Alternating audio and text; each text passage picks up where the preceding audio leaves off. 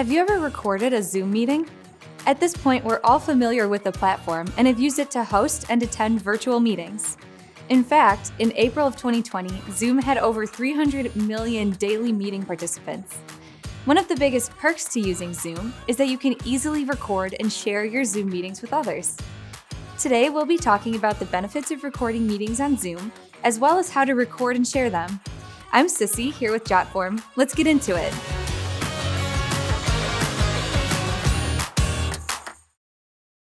It's not always easy to take notes during a Zoom meeting. Sometimes the speaker is talking too quickly and you miss something while writing your notes. Plus, it's much easier to get distracted while in a remote meeting. You could encounter some technical issues that you don't know how to solve, or you could get distracted by your family members. The good news is it's pretty easy to record a meeting on Zoom, whether you're the one hosting the meeting or not. You can record and save meetings to either watch back yourself or you can share the recording with others. But if you're using Zoom for telemedicine, you will have to get informed consent from your patient before recording. You can use JotForm to create a custom form for patients to sign before you record the session. Now let's talk about how to record on Zoom. To record a Zoom meeting with a free account, or Zoom Basic, you'll be able to record your entire meeting, but you'll have to save it locally to your computer then upload it to a cloud service later on if you're trying to share it with colleagues. Tools like Dropbox, Google Drive, or Box are great tools to use for cloud sharing. Since you would have to save it to your computer, you wouldn't be able to record with your mobile phone. Local recording needs to be turned on manually. Simply sign into your Zoom web portal as an administrator and click on Account Settings.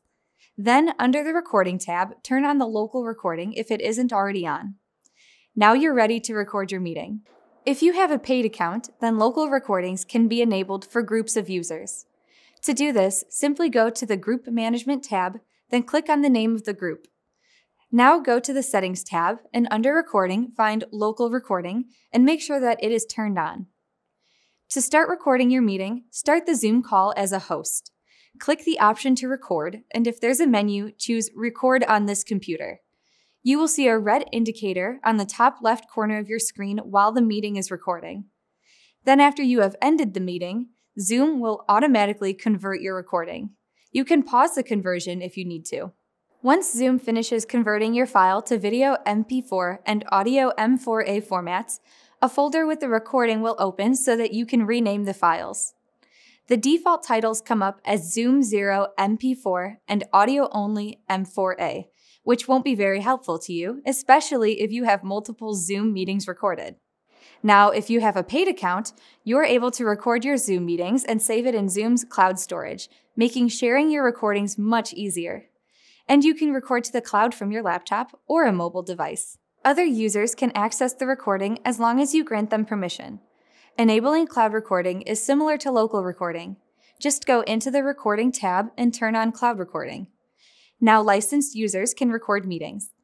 Cloud recording also gives you more options as to how and what you can record.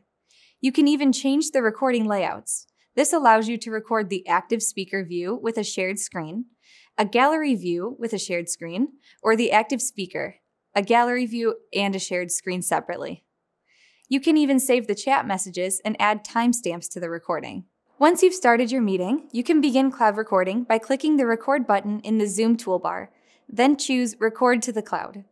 Then, when you stop the recording or end the meeting, Zoom will process the recording to view using MP4 and M4A files. You'll receive an email notifying you when your recording is complete and ready to use. Let's review. Recording on Zoom is pretty simple.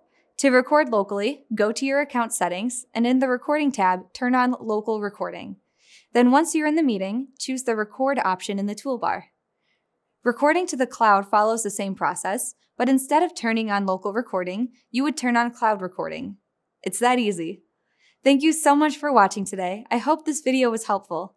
I'm Sissy, here with Jotform. Have a good one.